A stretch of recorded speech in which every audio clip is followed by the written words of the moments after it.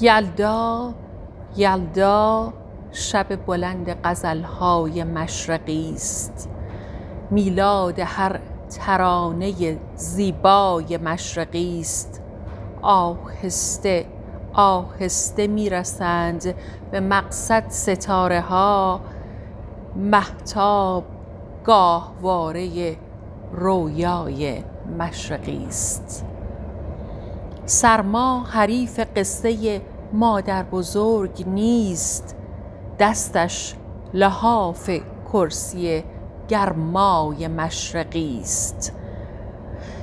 از هر چه بگذری سخن دوست خوشتر است. حافظ دوای روح و مسیحای مشرقی است. سیب و انار و پسته شیرین و ترش و شور طعم اصیل یک شب یلدای مشرقی است. حالا که دوستان همه جمعند دف بیار.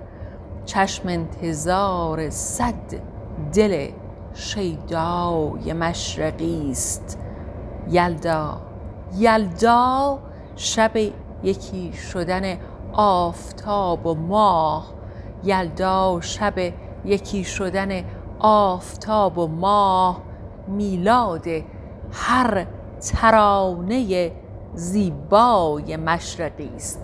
یلداتون مبارک امیدوارم که همیشه شاد سلامت و شبهاتون هر شب شب یلدا شب دور هم بودن شادی نشاط شب فال حافظ کرسی انار خوردن قصه پدر و مادر بزرگ شنیدن اشعار زیبای مشرق زمین رو شنیدن و بهترین ایامی که یواش یواش صدای پای زمستون رو داره میگه که بله دیگه زمستون از راه رسید.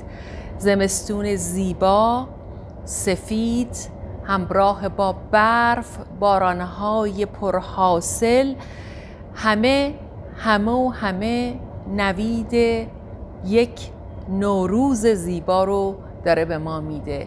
زمستون که میاد تا چشم بر هم بزنیم نوروز سال نوی خورشیدی ما از راه می‌رسه و چقدر این ایام زیباست چقدر خاطر ساز کرسی های قشنگ شب یلدا. مهم نیست که کجا زندگی می‌کنیم در ایرانیم یا در کانادا یا در اروپا و یا هر کجای دنیا که زندگی می‌کنیم سنت ایرانی رو حفظ می‌کنیم و به بچه هامون و نسل بعدی همیشه شب یلدا رو که بلندترین شب سال و یواش یواش روزها دیگه کوتاه و کوتاهتر میشن شبها بلند و بلندتر.